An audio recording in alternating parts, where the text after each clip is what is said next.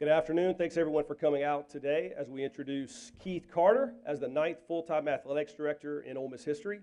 Uh, order of speakers today, uh, Chancellor Glenn Boyce will lead us off. He will be followed by Search Committee Chairman Mike Glenn, and then Keith will take the podium after him, and then at the end, we will take questions from medium. At this time, we'll ta- turn it over to the Chancellor. First, let me take and apologize for being late. The weather set in and really caused us some severe issues uh, getting back into the area, so I apologize to you for that. I'd like to welcome you here today, to everybody who's been watching, to all of our Ole Miss fans. This is a great day and an exciting day to introduce our new athletic director, Keith Carter. Athletics plays such an important role in the visibility and success of our universities, and we know that this was an important hire for us. Our search committee, which included alumni, faculty, and Ole Miss M Club members, did a tremendous job of evaluating a pool of experienced and highly capable candidates. We extend our appreciation to Mike Glenn, David Dellucci, Peggy Gillom Granderson, Jesse Mitchell, David Morris, Ron Rychlak, and Wesley Walls. I very much appreciate all the hard work and the time and the commitment and the effort they put into this. This group worked hard over the last few weeks to deliver a great result, and their driving focus was always what's in the best interest of Ole Miss. In particular, I want to recognize the search committee chair, Mike Glenn. Mike, I don't know how I can thank you enough for answering the call. It seems like every time your university needs you. We appreciate you so greatly. I'd also like to share a heartfelt thanks to Ole Miss football legend Archie Manning, who served in an advisory capacity to myself and the committee during this process. As always, Archie provided wise counsel and has been a steady source of guidance and support. Incredibly appreciative of Archie and the relationship that he and I have developed through this process. As we begin this search, I charge the committee with finding the right leader who possesses the integrity and character needed to lead Ole Miss athletics and our amazing student athletes. A leader with a strong and proven record of success, a leader with excellent management and interpersonal skills, and a leader who would excel as the public face of the university's athletic program. It was also important to find someone who upholds a strong commitment to academics and an understanding of the appropriate role for athletics in the overall university setting. Ladies and gentlemen, we have some of the finest student athletes in America. Their academic performance is absolutely amazing, program by program. So it was very important to me as chancellor that we also focus in that area because we have something special going on at this institution with our student athletes. We wanted a leader who wants to be at Ole Miss and believes all of our programs can compete and win at the highest levels. And I want to say that one more time. We wanted a leader who wants to be at Ole Miss and who believes all of our programs can compete and win at the highest levels.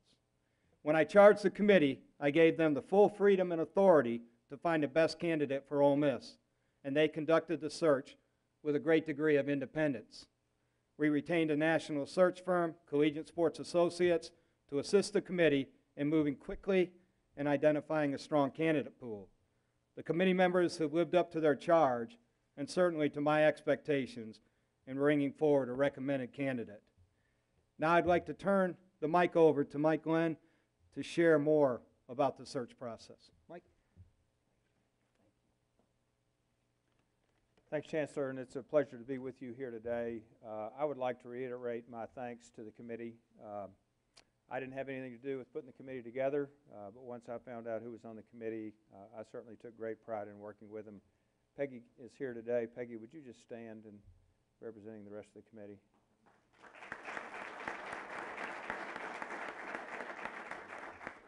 We had committee members from uh, North Carolina, from Mobile, Alabama, from Louisiana. I mean, these people are diverse and and uh, spread all over the all over the southeast. And so it wasn't easy to get everybody together at all times. But I will say we had 100% participation at every meeting. We had 100% participation in all interviews, and so I'm thankful for that. Uh, I also want to thank Archie, uh, even though he was titled a quote consultant. Uh, that's a bit misleading. Archie was in every meeting, he was in every interview, so from my point of view, he was a committee member just like everybody else, and, and he gave tremendous insight, and he has, as you might imagine, enormous contacts within the, within collegiate athletics. Uh, I would be remiss if I did not thank Collegiate Sports Associates, Todd Turner. There is no way we could have conducted this search within the time frame that we did uh, and maintain confidentiality of the candidates, which is so critical in one of these processes, uh, without, without Todd Turner and Collegiate Sports. As the Chancellor said, when he first called me, he said, I want to be really clear about what I'd like for you to do. I want you to find the best person to lead the athletic department at Ole Miss. Uh, Chancellor, I really appreciate the freedom that you gave us and the autonomy that you gave us to not only conduct the process, but to design the process on the front end, uh, select a search firm, and then proceed with developing a deep pool of candidates. Uh, once the committee was announced on the 30th, we went to work immediately. We had our first meeting. Uh, we had uh, an in-depth discussion of three different search firms. We, we quickly honed in on the search firm. We talked about the process, and we talked about the importance of maintaining confidentiality. That was critical. Soon after that, Collegiate Sports came to campus and met with uh, all of our head coaches, either individually or in a group that were available that particular day, as well as administrative staff to get input in terms of the type of candidate we needed, the qualities of the individual, uh, and after that, developed a criteria for us based upon the input that they had received and their experience in conducting many, many athletic uh, director searches. We were able to develop a very diverse pool of candidates. We had over 30 candidates, most of which were sitting Power 5 and Group of 5 ADs. Uh, CSA and I did a number of screening interviews to determine candidates' fit and uh, interest in the job. And the committee then got back together again and was able to narrow that list down to the individuals that we wanted to spend time with face to face. 100% participation in all interviews. The one exception was Wesley Walls did miss the first interview. Uh, we gave him a little bit of latitude there. His daughter got married the night before, so we thought that was a reasonable exception.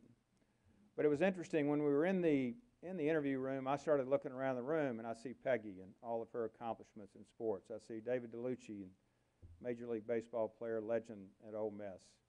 I see David Morris. I see Wesley Walls. I see Archie. I see Jesse Mitchell. And then I look at Ron Rychlak, and I think, think about myself, and I go, which two are not like all the other? so it was an honor for Ron and I to be part of this process. And, and I will tell you, there was no more group, you could not assemble a more passionate group of individuals uh, than was in that room that day to select our athletics director. When we started working with collegiate sports, I asked them to do two things for us. I said, first, you have to give us a deep and diverse pool of candidates. And secondarily, make sure that the decision we make is based upon the relative strengths and weaknesses of each individual candidate and is not influenced in any way by outside pressures. And they did that. And after we got through with our interviews, we had a good and healthy debate, and we came to the unanimous decision very quickly that, that Keith Carter was the man for the job. So, with that, Chancellor, I'm going to turn it back over to you and let you introduce our new athletic director.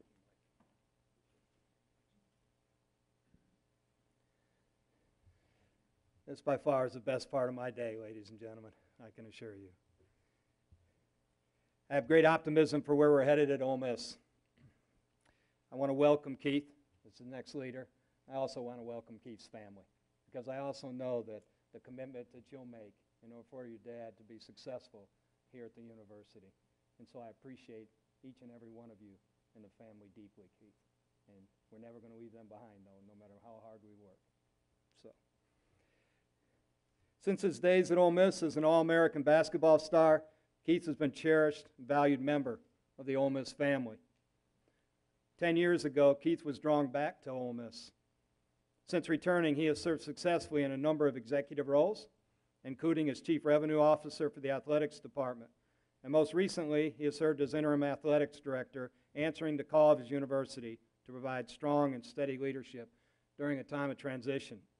He has succeeded consistently as a rebel athlete, athletics administrator, and fundraiser. He's been on the front lines representing our university and upholding the highest standards of what it means to be an Ole Miss rebel. Keith has cut his teeth right here at this university. We coached, mentored, trained him as a student athlete, And now he stands ready to lead our athletic department forward and continue an upward rise in his career and in bringing the trajectory of Ole Miss athletics into a new era. There's no better or more rewarding story than the one of nurturing and fostering a leader who then returns to serve the very institution that invested so much into that person. I think it's safe to say that we've gotten our return on investment from Keith Carter, and I think that will continue. He shares a deep passion for this university and is an Ole Miss rebel through and through. His standing with Rebel fans everywhere will serve Ole Miss athletics and the university well, and I know all of Rebel Nation will rally behind him and support him in this role. Keith is highly qualified, well respected among ADs, and he inherits the most passionate fans in all of college sports. In all of college sports. One of the most commonly asked questions on our campus is Are you ready? That question represents a proud rebel tradition, but it's not needed today because we know that Keith Carter is ready, prepared, and will lead us to new heights. Ladies and gentlemen, your new athletic director, Keith Carter.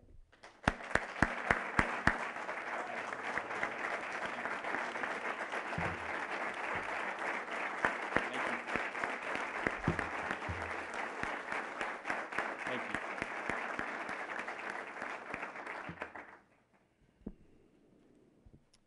Thank you. Uh, thank you for being here today. Uh, before I get started, obviously we had a little delay there, and um, during the delay, my family was in the offensive room over here.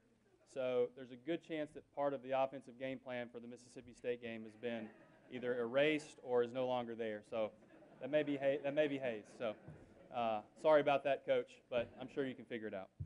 Um, no, I, I want to say thank you for being here today.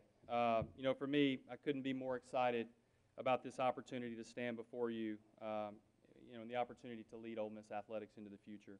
I want to thank Chancellor Boyce uh, for his support and confidence and for giving me this opportunity. Uh, I can't wait to work with him and see where we can take Ole Miss as we, as we push forward. I want to thank Mike and the rest of the committee uh, for listening to my vision for Ole Miss athletics and believing that we can take Ole Miss athletics uh, to a new level. Uh, most importantly, I want to thank my family. Um, my wife Jill, who I met here at Ole Miss, and she's been beside me for 20 years now. Uh, from Albuquerque to Bismarck to Italy, back to Oxford. It's been a fun journey, and uh, now we'll continue it as we as we get into this new role. My children, Drew, Callie, and Hayes, uh, they've been rebels since birth. They really don't know anything else, and I look forward to watching them grow in Oxford and at many Ole Miss events as we move forward. I can promise you this: our family will be visible, and we will be all in for Ole Miss athletics.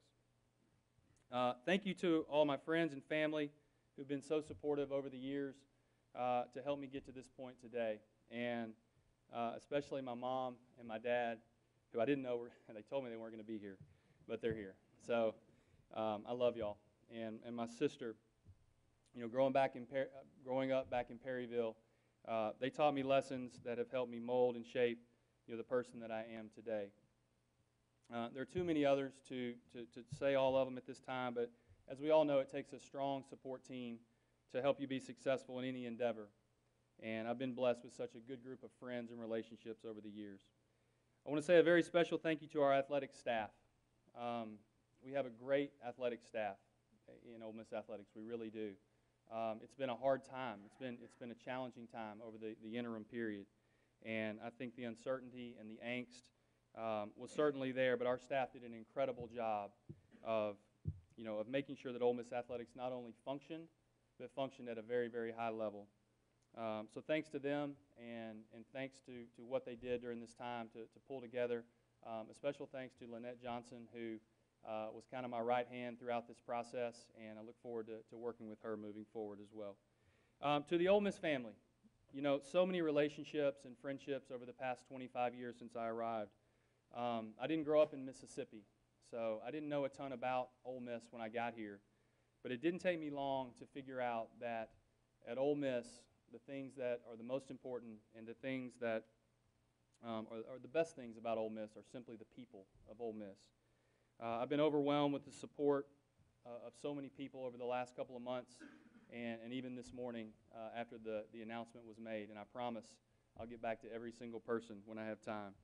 Um, you know, for me, to, to continue to build strong relationships and build more uh, is, is what I'm all about. You know, I've, I've been on the external side, and for me to build relationships and, and to continue those relationships is so important. I've learned from some of the best athletic directors in, in the country. One, one is here today, Pete Boone, who, uh, when I first got here, he was the AD. So thank you for being here today. Um, you know, obviously Ross Bjork, who gave me a, just an unbelievable opportunity to, to really be a part of every aspect of Ole Miss athletics over the past seven or eight years. Um, I appreciate you know, his leadership during his time at Ole Miss and certainly his friendship. Uh, Danny White, the AD at Central Florida, and Allen Greene, the AD at Auburn, were instrumental uh, in my early career in college athletics as we roamed the halls of the old UMAA Foundation back in 2009.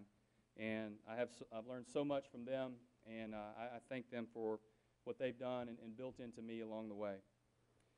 I believe the purpose of intercollegiate athletics is to provide student athletes with the opportunity to achieve academic success while competing at the highest level. Our role as administrators is to ensure that each student athlete has the resources necessary to accomplish both of those objectives. Instilling personal core values such as integrity, respect, balance, perseverance, trust, and humility are key components of a successful athletics department and ultimately the student athletes. The culture of the athletics department sets the tone for its success or failure, and I believe that it starts at the top with the athletics director.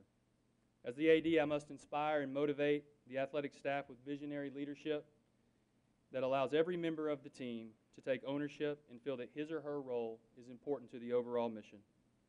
At Ole Miss, we will continue to be ag aggressive and proactive to grow the Ole Miss brand and be leaders in all facets of our industry. We will absolutely support student athletes and coaches and put them in the best position to be successful. I know what it takes to win championships here at Ole Miss, from cutting down the nets to uh, watching a Sugar Bowl win as an administrator. I understand the process and will do everything in my power for to help us compete at the highest level. Ole Miss is a destination school, a flagship university that can attract the best student athletes in the country and it's my job to provide the leadership, facilities, and resources necessary to win championships. As we've seen over the last year, our men's cross country team and our women's golf team have won SEC championships, and my expectation is for all of our programs to compete at that level. I cut my teeth in our industry and development, fundraising right here at Ole Miss. I don't plan on stopping. I will be knocking on your door. I'll be making a phone call to you to discuss how you can help Ole Miss athletics move forward. I'll be visible and transparent with donors, with fans, with media, and anyone else who wants to know anything about our department. We in athletics cannot do our jobs from behind our desks. So please know that we'll be out in front, building relationships and being aggressive to spread the Ole Miss message. I couldn't be more excited for this incredible opportunity. I'm honored to be your athletics director and will work tirelessly to make sure that Ole Miss athletics is something we can all be proud of. Thank you, and go Rebels.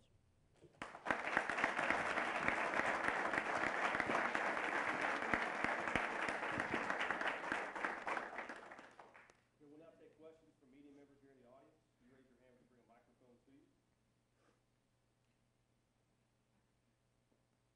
Start with Chuck in the front.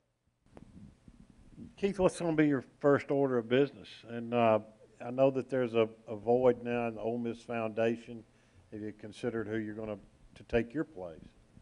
Yeah, I think, you know, there's a couple of things that are kind of front of mind. Uh, certainly getting our staff back to full staff. Um, we've got a couple positions that we've got to look at, but, you know, we've already been able to do some, some background stuff on that. I think we can, we can get to work on that pretty quickly.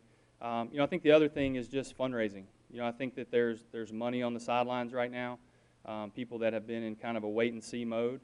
So I'm going to, you know, go back to those people and, and continue to build those relationships, and hopefully we can, we can get some of those people to sign on the dotted line. for Chancellor Boyce. Chancellor, did the reaction to the search that produced you as chancellor, did that give you pause before promoting from within? That did not give me any pause, and I will tell you why. Because I put together a committee that I thought was exceptional. People who loved Ole Miss and people who were connected to the athletic world. And that process ran flawlessly. And as long as that process was running flawlessly, I knew that we would come up with the right candidate. And I do want everybody to know that uh, Keith had to fight through that process. Keith won that job through this process and that recommendation unanimously to me in my interview with Keith. And so I thought that process was critical, and Mike Glenn couldn't have been a better chairman to run that process. So,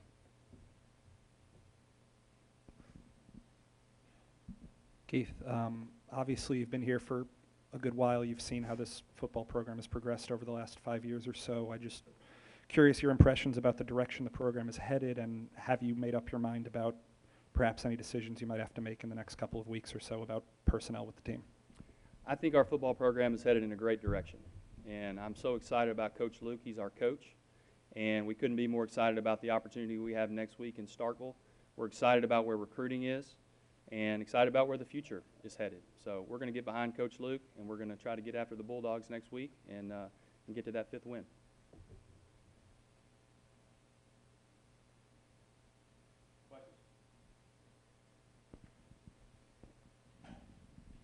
For Mr. Glenn, please. Uh, Furthering that question, what was the committee's, uh, I guess, response to Keith's experience in working with coaches? Well, first of all, I think Keith's already demonstrated a pretty good track record with hiring coaches and, and uh, hiring Kermit Davis. His, his role in attracting Coach Davis to our university was instrumental, so that's, that's a pretty good start right there. Uh, secondarily, uh, an athletic director has to be able to attract talent, attract coaching talent and attract talent in the administrative staff. I think Keith's got the qualities that you look for in a leader. He demonstrated those in the interview. As a matter of fact, when we got through deliberating, Todd Turner pulled me aside and said, well, it's a good thing you hired him because I was going to have him placed within six months. So uh, there's an example of somebody that does this for a living, that, that hires ADs for a living as well as coaches, and saw the same things in Keith Carter that we did as a committee. So we went into this with a blank slate, pure and simple. Uh, we were going to hire the best candidate. That was our charge. Uh, I spoke to each committee member individually and told them that if they weren't comfortable with that mindset, then we needed to, to go in a different direction. But 100% of our committee took that charge that the chancellor gave us very seriously. And so uh, I'm absolutely confident we got the best candidate. It's for Mike. Uh, You're becoming an old pro at this, Mike. Uh, Is uh, Chancellor Boyce going to put you on the payroll, you think? No, you, you you have to be relieved, though. Uh, This is three of those for you, and all been critical, and I know you feel good about this one. Well, we used essentially the same process uh, in every search. And uh, again, you know, I, I actually talked with Chancellor uh, Boyce about the process that we used when, when Chancellor Jones was here and the autonomy that he gave the committees to do the work. And, and so we followed the same process. So that was the good news. We had a blueprint for what, what needed to be done. Now, anytime you hire a search firm, you want to learn from their experience and how they go about assembling a, a pool of candidates. And and our role uh, was probably a bit more active. My role in this particular search was probably a bit more active uh, than it was before in terms of assembling candidates because we did a lot of screening interviews this time. And uh, you know, it's, it, this is a this is a funny game. It's amazing how many people are willing to spend two hours with you on the phone talking about the opportunity, but they're not willing to interview. And so, uh, so you take that for what you what you will. But but we talked to a lot of people that have really good jobs, and uh, but they were very excited about this, and that's one thing I think it's important to, to state. I know it's very easy for us to have a lot of our self-talk become more negative. I will tell you the way these candidates view our program is that they would have been coming in at exactly the right time. They felt that they were going to be coming into a program that was headed in the right direction, that had uh, programs like baseball, top 10 in the country, men's basketball, NCAA tournament. Football, which has had a great recruiting class, playing tons of freshmen, has got a bright future. So, you know, we may see it one way, but I can tell you the people that we were talking to were seeing it a totally different way. And it's a great opportunity. And to me, I took, I took a lot of solace in that, that, that, that you know, we we, we were headed in the right direction.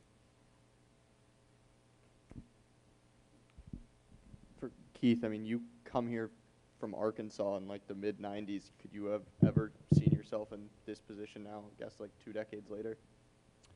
Uh, no, not really.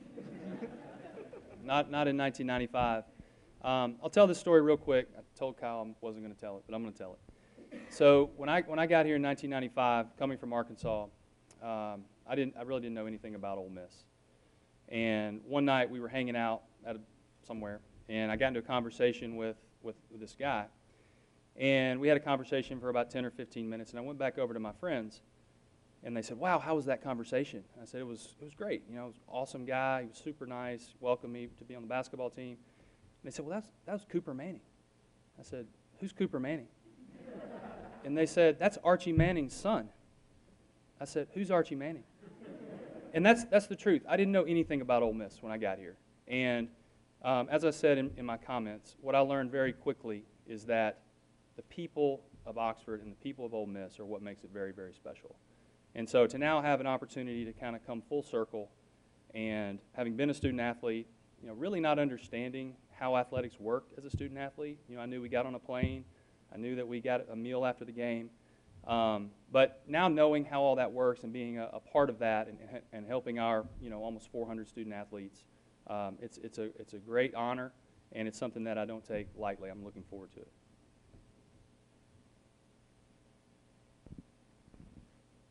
Uh, This is for Chancellor Boyce. Did you guys have any, like, I guess stipulations amongst the candidate pool with regards to like which direction you wanted to go with the football program throughout the process?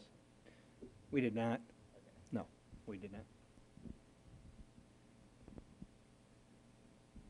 Chancellor Boyce, did- alluding to what Mike said about the optimism of the, the candidates had about Ole Miss athletics, where, where is your optimist, optimism toward Ole Miss athletics at this point?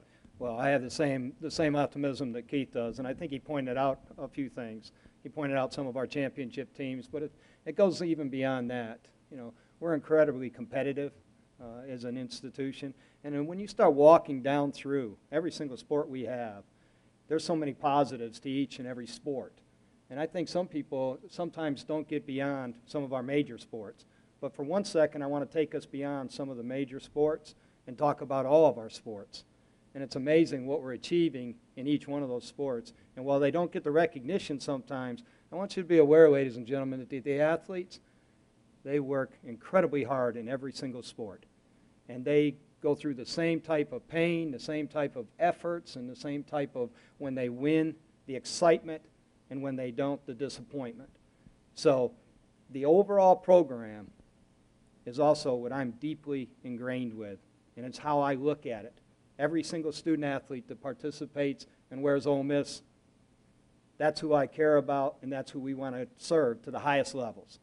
And so when you look at it from that perspective, really, and I told Keith this last night, we spent a couple hours together last night talking to make sure that we were on the same page with each other about our expectations moving forward for the future. But when you look at it from that perspective, you can see why Mike had the conversations that he had with athletic directors about where the Ole Miss program was and that why they thought it was in a wonderful position. And I agree. It's in a wonderful position. Now, do we want to compete and do we want to be better? Yes. Do we want to win more championships? Oh, absolutely. And you won't find too many more competitive people than the person standing at the mic right here. And so, probably the only person that I might find that's even more competitive might be the guy I just introduced standing behind me. But we're looking forward to making this work and uh, work at a very high level. Keith, you brought up facilities in your introduction. Do you have any specifics in mind of, of areas you might want to address when it comes to facilities? Yeah, you know, I think for us, it's important that we finish out our Forward Together campaign. You know, that's a campaign that we started back in 2012, and you know, something that we need to finish up. We've got about 17 million there to finish up, and, and I think we can do that in a, in a reasonable amount of time. Uh, you know, we're, we're working now on a new track locker room, um, a little over $2 million there that will go in to, to help those 100 student athletes there. Um, you know, we talked about our softball facility needing some, some help there, and that's something that's going to be a priority in, in the coming days. But, you know, I think we're going to have to get in. We don't have anything major, anything that's probably a 20 or 30 or, or above, uh, you know, million type product right, now, project right now. But certainly we're going to get in and, and assess, and, and, at some point we will kind of you know, mobilize and, and potentially do another capital campaign you know, as we move forward. Keith, is there anything you learned, particularly in the interim role, that kind of helped you feel more ready for the permanent challenge? You know, I, I think uh, having the opportunity to be interim was was just so valuable. Um, you know, I, I've said my whole career that I wanted to be an AD, and then you hear from sitting ADs until you're in the chair, you really don't understand what it's all about. And I think I learned that on the first day, that that's absolutely true. Um, but what it did, it really solidified for me that I wanted to do this. Um, and not only did it solidify that I wanted to be an AD, but that I wanted to do it at Ole Miss. And, you know, I think that this place is so special. I think there's so many opportunities here. Um, but certainly being in the chair, making some of those decisions, uh, I think it's prepared me really well for now the permanent role. For Keith, when you got that interim role, a lot of those guys are kind of just placeholders for the next person. How realistic was it in your mind for you to be standing here again? Well, you know, I think for me, and, and kind of what I said before, the way I was raised is that you just put your head down and you go to work and you do the best you can possi- possibly do. Um, you know, I, I knew that because of the role that I had at Ole Miss, that I had built relationships that were key relationships. Uh, you see a lot of athletics directors these days that are coming up through the world of development. And so I thought that was, was kind of a feather in my cap that could help me. But I knew we had to do good work in the interim period. And again, I, I credit the staff so much for, for working hard, pulling together, uh, doing great work. Um, but yeah, I, I felt like I had an opportunity, almost like a six-month interview. I actually thought it might be a little longer, you know, an interview process to, to kind of put some work on paper and, and, and build that resume. But it's been fun. Um, it's been a great opportunity. And to now get the opportunity to do it long-term is, is very special. Keith, frankly, there's a residue of negativity left over from the NCAA's five-year, whatever you want to call it. I call it a colonoscopy. Um, It's a good word, Chuck. yeah. uh, what do you do to, to boost ticket, get those ticket sales back and, and get that negativity wiped out? Well, I think every day we get away from some of that that you're talking about, it gets better. I really do. Time is healing it in some ways. Um, you know, I think for us at Ole Miss, we certainly have our own unique challenges and things that we've been through, such as, as, as that case. But I think if you look around the country, there's, there's, a, there's a downfall in, in ticket sales and, and attendance and, and those type of things. So we have to be kind of you know, cognizant of what's going on nationally and then obviously put our, our spin and our theme on kind of what our, what our issues are. So, you know, for us, we, we've got to be visible. You know, I think as the AD, you've got to be out in front of one person, in front of 10 people, in front of 100 people, and we got to win people back. We got to get them back here, you know. Um, you know, I think for us, I've been around for 25 years, and, you know, we've seen some of these highs and lows, and certainly when we're on the highs, we are pulling in the same direction. You know, we, we don't have the biggest donor base, the biggest fan base, so we need everyone. And so we've got to do a good job of being intentional and being visible and transparent with everyone and, and talk about our vision and talk about how we're going to improve on things and improve game experience and, and those type of things. But, um, you know, I think that's something that we'll, we'll, we have been working on and we'll continue to work on.